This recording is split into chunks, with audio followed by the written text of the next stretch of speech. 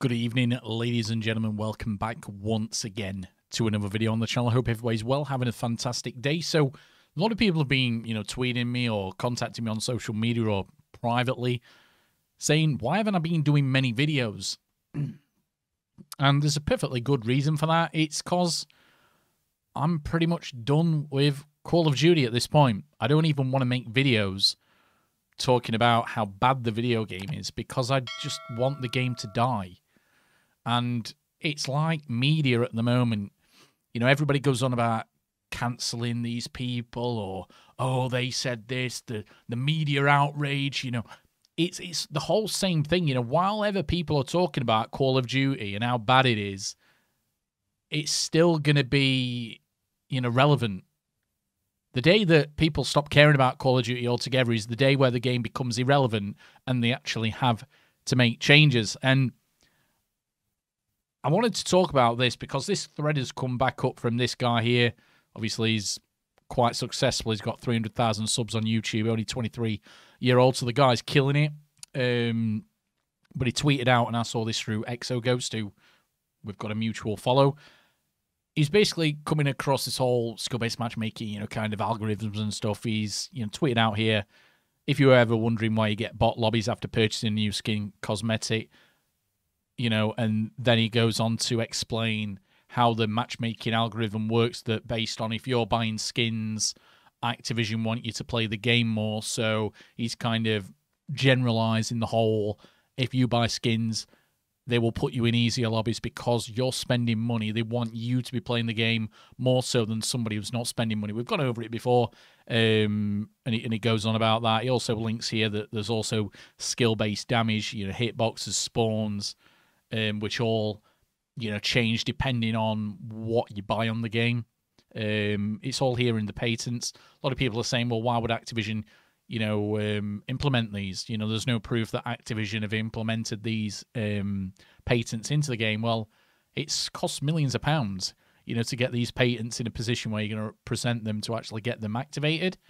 Um, so why would they not do that? He, he goes on to say potential skill-based audio. I don't know how true that one is. Um, I've looked at all these briefly. Again, I'm by no means an expert on this, but um, I, I know enough to think that this is a scumbag move, and you know, basically that. I think the way I analogize this, if that's a word, um, is that you are no longer playing Call of Duty. Call of Duty is playing you. You're not playing a video game to enjoy it. You're playing a video game and the whole video game's engineered in such a way at a coding level, you know, right at the ones and zeros at that level to actually get you to spend as much money as possible. So, from Activision's point of view, who are they going to want playing the game? Because ultimately, if you're playing the game and not spending any money, you are costing Activision money because servers don't run for free. However, there's way more people out there who offset that, you know, deficit who buy all the skins. So they want the people to, you know, buy the skins to have the best possible time on their game. And I tweeted this out um, on my Twitter. Um, I think there's a video on it somewhere um, where I actually, you know, talked about this. I said this years ago when I won a 1v7 in Warzone. Now, I used to stream Warzone, you know, Verdansk Warzone, um, Lockdown Verdansk, whatever you want to call it. And we had some great times playing that game. We really did. We 200, 300 viewers watching live. You know, it's the best my channel's ever done um, while I'm live streaming. So, you know, we were having a great time. Everybody were having a lot of fun. We were playing viewer games, all the Boomer Squad, all that. Um, and while I was having fun on the game, before it become a cesspit of cheating everywhere, I used to buy skins on the game because I actually enjoyed it. Um, now I won a 1v7 versus a team of four at the end, and then I think there was another two as well. I had recently purchased an MP7 skin. I was using that weapon in the game, and I'm thinking, I am nowhere near good enough to take out a full squad of four and kill a duo. The game was actively helping me through whatever means all these, you know, algorithms have. It wanted me to win because I'd just purchased a skin. You know, it put me against probably lesser skilled players. Again, I'm by no means a great player at this game. I'm just slightly above average. And it probably modified the hitboxes. Who knows? Who knows, ladies and gentlemen? And that's kind of why I made this video. You know, it isn't just Call of Duty, it's not just Modern Warfare 2. There's a lot of games out there where they have predatory systems to actually, you know, make people spend more money than ever. There's no such thing as a free-to-play video game. Yes, okay, I know that you don't have to pay anything to download and install it on your computer, but to enjoy a game to its full extent because of these predatory matchmaking systems in them, you need to spend money to get an actual enjoyment out of the video game. And there's going to be people in the comments crying like little bitches saying, oh no, I have fun, I have fun. There's always one. You know, there's, there's always one there. But for the majority of people, and that's who I'm representing here, I'm not representing the 0.1% who are extremely gifted at playing video games. I mean, I, I'm kind of here representing the casual gamer who wants to sit there after, you know, being at work, for God knows how many hours. You come home, you want to chill, and you want to play video games. Even though I'm a, I'm, I'm dead against skill-based matchmaking.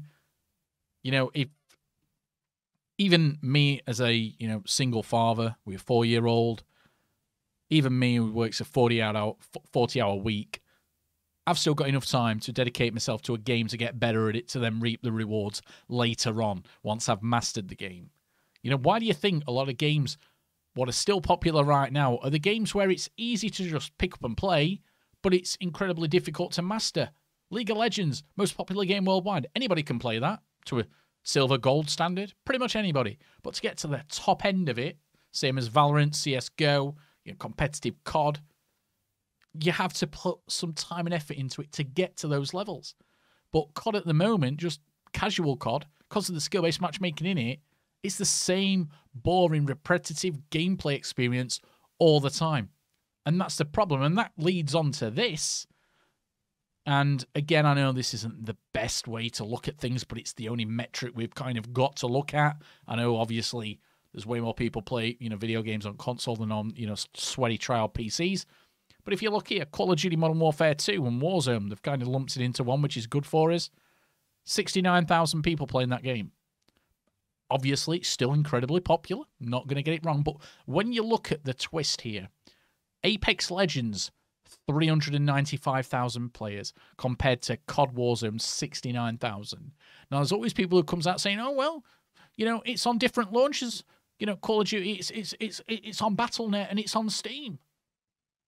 Yes, but EA is the exact same with Apex. You know, Apex is on you know, both platforms. It's on Steam and it's also on, you know, the EA app, Origin app, whatever you want to call it these days. So I'm not expect I'm I'm not going to take that shite from, you know, a few people in the chat saying it's because it's on different launches. I'll tell you why it is, because it's people are sick of playing shitty manipulating, you know, video games. Apex Legends, the rank system in that, and there's a few people moaning about that at the moment, but you know, Apex ranked is fantastic if you're that type of player and you want to grind and get the best rank possible. It's great. The only reason I don't play Apex Legends is because I play solo, and it's clearly a game what's designed from, you know, again, from the very bottom to be played as part of a team. Obviously, the, you know, abilities in that game all complement each other, um, and obviously the meta. And then the last thing I want to talk about, there's all these people, you know, virtue signaling, saying, I'm not going to buy Modern Warfare 3. I will have a bet right now. Hold on, I don't want to give him a view because I don't personally like the guy. You know, he kind of scams kids out of the pocket money doing a GoFundMe because he's lost all his money on crypto. Bad move when he's made millions over the years in ad revenue. You know, um, obviously blame truth. You know, he does what he does. Not gonna lie, you know, he's very successful at it. Um, so you can't, you know, talk badly about the man when he he's played YouTube way better than pretty much every single creator who's ever tried it. Maybe he's probably the top one percent of creators all time with views. Um, he he tweets out that well, sorry, he tweets. He's he's made a video saying Activision with a cease and desist again. I'm boycotting Modern Warfare Three. I will give away a PlayStation Five to one of my subscribers if Blame Truth does not buy, you know, this year's Call of Duty game. Well, they've already announced it's going to be Modern Warfare 3, so I'll say Modern Warfare 3. And you can clip this video. I will buy somebody a PlayStation 5 or an Xbox Series X, whichever one you want, if Blame Truth does not buy Modern Warfare 3. I'm that confident he will, because ultimately, you know, he makes content he needs to, to be fair to him. But again, that's why I've not made many videos. Call of Duty is just irrelevant to me. It means nothing to me anymore.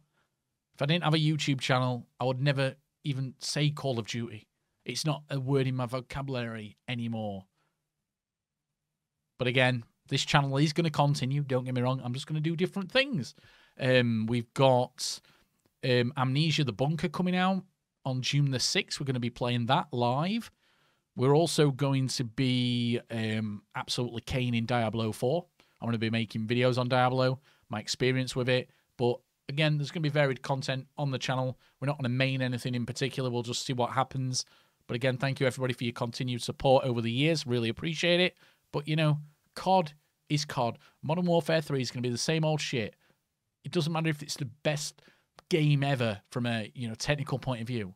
It doesn't matter if it's got the best maps, the best weapons, the best kill streaks ever. It doesn't matter because skill-based matchmaking and all these algorithms in the back end are going to ruin it.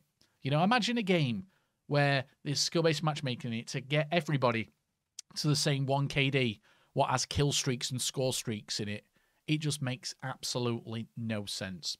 But all I ask of you guys, if you play that game, stop playing it because you're part of the problem. Love you all. Take it easy. Bye bye for now.